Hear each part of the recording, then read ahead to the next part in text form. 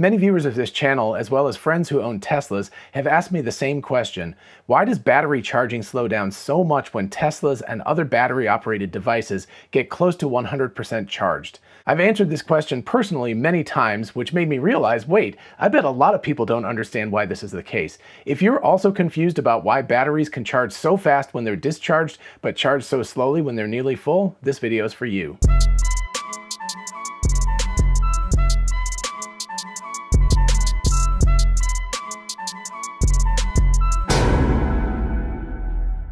Hey y'all, it's Dr. Know-It-All. So I'm going to start off with a really simplified version of what a battery is. Uh, by the way, I'm not going to go into a lot of chemistry and so forth in this episode. This is kind of an overview. It's relatively simplified. So, you know, if you're a battery research expert, you're going to be like, dude, you're not telling all the secret, you know, details. There are people who have PhDs in battery chemistry and spend decades working on this stuff. So I'm giving a generalized overview. I'm not getting into the nitty gritty of all the little tiny details of all this stuff because it is very, very insanely complicated. What's that phrase, the devil's in the details? I mean, that's basically what it is. So anyway, I'm giving an overview here. I just want you to understand that. This is enough to understand why batteries charge quickly when they're discharged and slowly when they're charged up or almost charged up, but it's not getting into the nitty gritty details of exactly what's going on. All right, so anyway, that being said, let's start off with what is a battery?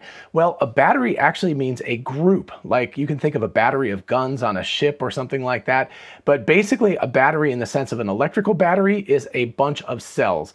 So the old, old fashioned batteries would have a little cell and then another cell would be on top of it and another and another and another. They're usually connected in series so that you get a voltage that increases as you connect each one of these things, but they don't have to be. They could also be a parallel battery. But most batteries that we know about are series-based batteries. So anyway, these batteries, whether it's an old AA battery or a lithium ion battery that's in your phone or a you know really big lithium ion battery in your Tesla, produces enough power to power a device through a chemical reaction. So let's talk in broad terms about how a lithium ion battery in particular works and how it produces power. First of all, there's four different elements to any battery. There's an anode, a cathode, an electrolytic material, and a separator. Again, talking about lithium ion batteries particularly, the anode is where lithium ions and electrons are stored when the battery is charged. The anode in a lithium ion battery is mostly comprised of graphite, although extra things are put in depending on what kind of battery technology you've got. The cathode is where the lithium ions and electrons are stored when the battery is discharged,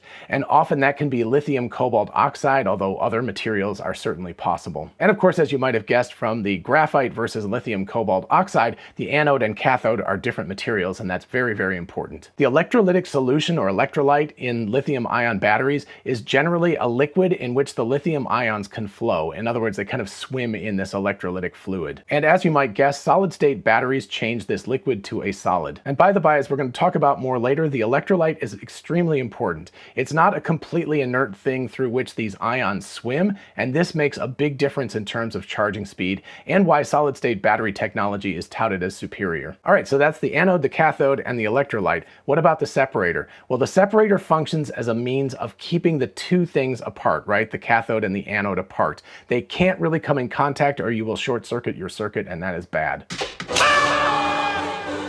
The separator is also crucial because what it does is it allows positive lithium ions to pass through the separator, but electrons cannot pass through the separator, which is why they have to take the kind of long road that goes through your car's motor or your phone or your laptop or whatever you're providing power to. And of course, that's basically how you produce power from a battery. It's also very important to note that lithium and electrons stored at the cathode are at a lower energy state than when they're stored at the anode, and thus there's a potential to produce power.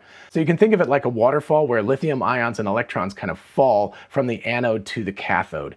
The anode releases lithium ions to the cathode during discharge, or in other words, when you're using it. As you discharge a battery or use the battery, the anode releases lithium ions to the cathode during that process. The electrons can't go through the separator, so they have to take a wire through there, and you put whatever you want to get work done, uh, you know, like a light bulb or something, in the middle of that wire, and it lights up the light bulb. During charging is backwards. Instead of having a light bulb there, you have some sort of power source, like an electrical source or something, and the lithium ions are released from the cathode and pumped back to the anode. And remember, that's a higher energy state, so it takes energy to push those ions back through the separator to the anode, and you're doing that by providing electrons, by pushing that with an electrical source back to the anode. And as I'm talking about this, I'm showing you this really nice Department of Energy animation that gives you the basic idea of how this all works. All right, so let's talk about discharging versus charging speeds.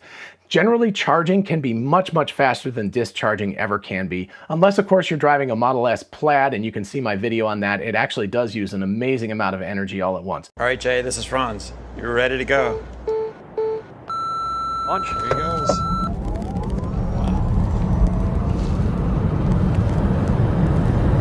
Nine two four seven. Wow. But generally speaking, like you can imagine you would charge your car in say one hour or 45 minutes or something, but it could take three to four to five hours at the fastest to use up that energy. So you're charging it something like three to five times faster than you're discharging, which is why generally speaking, charging is the big issue with batteries. And of course, again, if you take like a phone, a lithium ion phone or something, you could use this phone all day, right? It should go 12 or 18 hours or something on a single charge, but you want it to charge back up again quickly when you plug it in. So charging Charging is usually more critical than discharging. Discharging is generally much slower than charging, so we don't really have to worry about that factor nearly as much. So I've come up with an analogy that I think will work for everybody, even if you're in the United States or in any other country in the world, and that's a football stadium analogy. So you can imagine European football or you know the rest of the world football or American football, it doesn't matter because we're talking about the stadium itself. So let's say we have a stadium that holds 50,000 people and it's completely empty, and you allow people to come in, there's no reserve tickets or anything anything, it's just find your seat, whatever, right?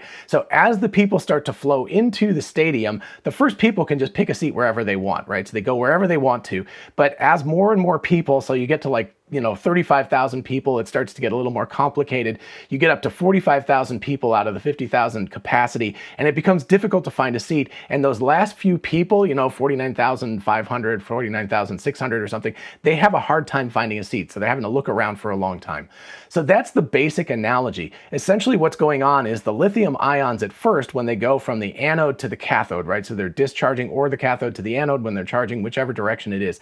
The other side is pretty empty and it's got a lot of holes holes where those lithium ions can go. So they can just find any place they want to go, no problem. But as the battery starts to charge up, in the case of charging, there, there become fewer and fewer of these empty holes, and it becomes harder and harder for the lithium ions to find those holes. And of course, that starts to create friction because the lithium ions are bouncing around trying to find a hole to go into. So that creates friction, which is why your battery oftentimes will heat up as it gets close to being full. And we can also push this analogy a little bit further. Let's imagine that we've got the 50,000 people, but they're all in an upper deck and a lower deck. So the lower deck is the discharge state and the upper deck is the charge state. So they've got energy, right? So if you're in the upper deck, everybody's sitting in the upper deck, and then all of a sudden somebody goes like, go quick, find a spot at the lower deck, right? So everybody gets out, they go through the exits and they pour down into the lower seats. And again, whoever gets to those lower seats first just finds a place that they want to, because they're all selfish, right? They're not like, oh, I'm gonna move over really far so everybody else can get in. They're like, nah, this is a seat, I'm good, you know, right? So everybody else has to work their way around these people, but they're losing energy as they do this because it's discharging, right? So in this case, they're losing gravitational potential energy as they go down the stairs. But anyway, the first people get into their seats, but again, it becomes more and more difficult for those last people to find their seats. Then when we charge up the battery, the person says like, everybody move to the upper deck, right? So everyone's trudging up there because it's hard work because you've got to go up against gravity, so that sucks, right? But anyway, the first people again find their seats, but in this case, instead of a nice slow stately walk when you're discharging, they're like run as fast as you can and find these seats. So people are just chaotically moving into this place. And so they're getting their seats and the last people again are having a very difficult time finding their seats. So again, when you're charging, when the battery is very discharged, there's a ton of seats, you can find your seats. And it's really easy to do. As it gets fuller and fuller, it gets harder and harder to find those seats, which effectively leads to friction because you've got, you can imagine human friction instead, right? Maybe people start yelling at each other and punching each other or something. It's a bunch of chaotic human beings. It's, we're pushing this analogy to the limit. But anyway, so you're creating friction and you're, you're heating up this battery or this football stadium, depending on what you want to call it. All right, and let's take this analogy to the limit. This is a very important point also. So let's say all of these fans are carrying junk with them. They're carrying cups, they're carrying coolers, they're carrying their jackets, they're carrying their umbrellas, whatever. They've got a bunch of stuff. And these are very, very sloppy fans. In addition to being chaotic, they don't really care too much about the stuff they've got. So if the going into the stadium is slow and organized, guys, they can take their garbage with them as they go in and as they go back out of the stadium. But if instead they're in a rush, right, where someone's like, you gotta run and get into your spot, they're gonna tend to leave their junk lying around, and that's going to cause people to trip. It's going to cause fewer seats to be available because some of the junk's gonna be sitting on those seats, right? So it's going to cause problems. So basically, if you're forcing these people into the seats too quickly and they leave their junk lying around, you're not gonna be able in the future to fit as many fans into those seats as you could, which in a battery sense means that the battery becomes degraded and you can't charge it up as much as you could. All right, so moving back to real batteries here from our football analogy. So early charging and discharging, again, though discharging is normally much slower than charging, lithium ions find any old home in the anode or the cathode when it's discharging.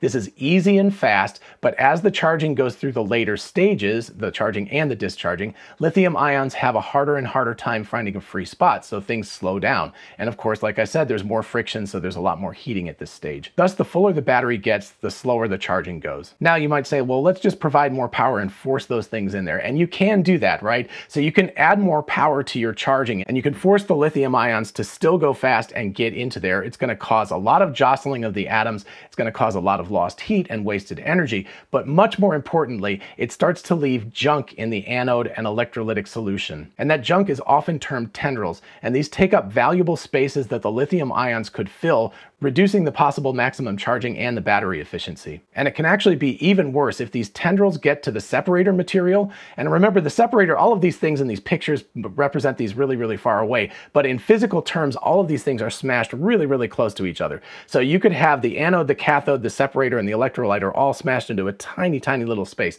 And if those tendrils grow long enough, they can actually poke holes in the battery separator. And if they do poke holes in the battery separator, this can lead to a short circuit or a rapid discharge. That leads to a lot of heat and it leads to fire. And by the way, the electrolytic solution generally is flammable, which makes the whole situation critically important and very dangerous. Obviously, a runaway battery fire is a terrible thing. And if anybody remembers the Samsung Galaxy, whatever it was that caught fire on the airplane, that was a big deal. It's hard to put out battery fires because they're still generating energy because that short circuit is still going on until the battery completely discharges. So again, as many of you have heard about solid state batteries, what we can say is that solid state batteries have a solid electrolyte, so tendrils cannot easily grow into the medium, and generally the solid state is not flammable either. So you can kind of force the battery to keep charging at a high rate even as it gets full, which is why solid state batteries charge much faster. It really doesn't have anything to do with empty charge capability because they're both very, very fast when they're more or less empty. But as the battery gets full, you can force the battery to keep charging faster with a solid state battery than with a liquid electrolyte battery. And I'm sure that makes you ask then, well, why don't we just have solid state batteries? Well, they're very, very complicated. No one has built one that works really, really well at scale. In other words, that you can produce a lot of. So yes, it's probably going to happen. We'll probably end up with solid state batteries by 2025 or 2030. But in general, it takes a really long time, like 15 or 20 years from when you first get something that works to something that's commercializable and at scale. So by 2030, you might very well be driving a solid state battery car. But for right now, you're stuck with the liquid electrolyte version with all of its problems. So anyway, between the football stadium analogy and the understanding that, that liquid electrolytes are quite dangerous if you try to charge them too quickly and that you'll degrade the battery, I hope that helps you understand why batteries charge more and more slowly as they get fuller and fuller. All right, I hope you found this episode episode fun and informative. If you did, please like it so other people can find it. And of course, if you enjoy this kind of stuff, consider subscribing as well. As always, a huge shout out to my patrons on Patreon. You all are wonderful. I actually have a new Patreon shout out for two new patrons today. They are Tomaz Pizikolan, I hope I got that right, and Ut Vu. Welcome to both of you, and of course, if you're interested in joining, just check out the link in the description. Also, definitely check out the new shirt on our merch store. It's Physics is the Law, Everything Else is a Recommendation, which is a quote from Elon Musk. And of course, there's lots of other t-shirts, tumblers, mugs, etc., so definitely check it out. And for those of you interested in investing, check out Webull, an amazing platform for buying and selling stocks, and now cryptocurrencies like Bitcoin, Dogecoin, and others. Open an account and get a free stock valued at up to $200, and fund your account and get another free stock valued at up to $1,600. Check out the link in the description and help the channel at the same time. Thank you. And finally, don't forget we are both Tesla and Amazon affiliates. If you look in the description, you can see how clicking on a link and going shopping for a car, a solar roof, a power wall, or anything on Amazon helps out the channel. And as always, feel free to ask me questions in the comments or at my email address, which is drknowitallknows at gmail.com. Till next time, bye-bye.